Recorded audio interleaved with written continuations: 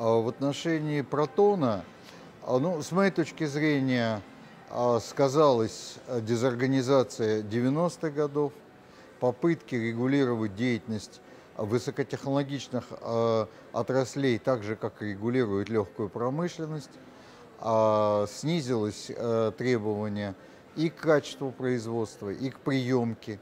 Наведение там нормального порядка быстро вернет ситуацию в норму, то есть к успешным запускам. Я хочу напомнить, сколько было спекуляций по поводу булавы, достаточно было там наладить ситуацию с комплектующими, и булава нормально летает, принято на вооружение и так далее. Я думаю, что если навести жесткий и нормальный порядок в производстве э, и подготовке к запуску протона, он опять будет самым надежным носителем.